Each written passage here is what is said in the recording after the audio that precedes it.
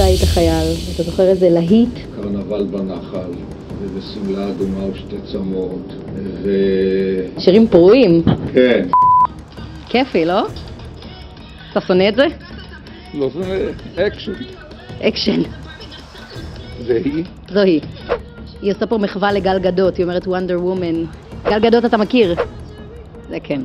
מהו השיר שלך ב-70 השנים האחרונות של המדינה? כמו רקפות בין הסלעים. שיר הרעות של חיים גורי מסביב למדורה. אנחנו הילדים של חורף, שנת 73. הבטחתם יונה, עלה של זית, הבטחתם שלום. הרגשתי מכה קלה בכנף כשהוא הזכיר את השיר הזה. הערוץ הזה מידרדר, עכשיו שמים את תשמע, השיר, אם יש שיר. אם יש שיר, שקרי. בכייני, שקרי,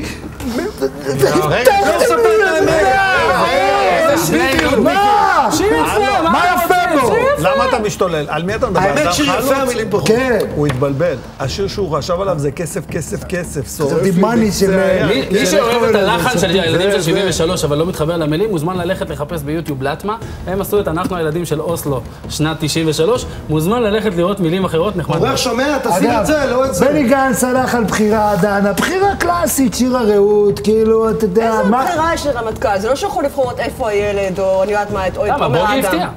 לא, הם תמיד בוחרים. כן, הוא בחר שיר של אריאל הורוביץ תמיד שאף אחד לא. מכיר. כמו רקפות בין הסלעים של אה, אתה הורוביץ. הקשבת לשיר? שיר מדהים, מכירה את כולם. אני מכיר את כן, השיר אתה שלו. בטח? אריאל כולנו אוהבים את אריאל אתה אורב. לא חושב שהוא בחר את זה קצת להיות הרמטכ"ל המיוחד?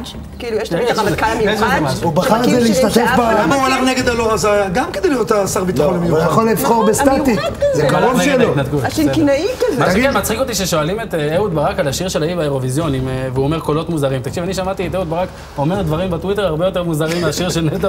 שמע, רגע, זה לא אותו, הוא לא אמר שיש מצב שיאלצו, יהיה רע מאוד, אבל יאלצו לקרוא לו?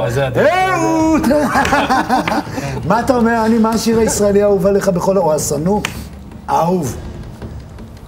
אני הייתי הולך זוהר ארגוב, אתה יודע. גני, אתה הולך לקלישאה של הקלישאה של אני הייתי עצמך. הולך זוהר ארגוב, אני הייתי הולך דקלון, צילי הקרן, זה מה שהייתי אתה רואה. גם אתה כמו רמטכ"ל, הייתי לא הולך יכול על לבחור משה שום דבר הלל. שהוא לא זה מה באג'נדה. שהייתי הולך, ליל זה- מה שאני ליל אוהב. חניה. ברור? אבל יש. גם את ראיתי Tahiti עוטפת אור, והיא עולה בשלל צבעי הקר. בצלילים העצובים האלה, נצא אתה עכשיו לא להפסקה קצרה. יום הזיכרון עדיין לא התחיל. הלם צעיר מקיבוץ כתב אותה, את השיר הזה כשהוא ראה את ירושלים, כשהוא עולה עליה מבעד לעננים, ואחרי מספר שנים הוא נהרג ביום כיפור.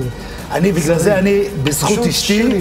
אני בדרך כלל אוהב מוזיקה, אתה יודע, לא מוזיקה ישראלית, אבל בזכות אשתי, נחשפתי לחיטה צומחת שוב.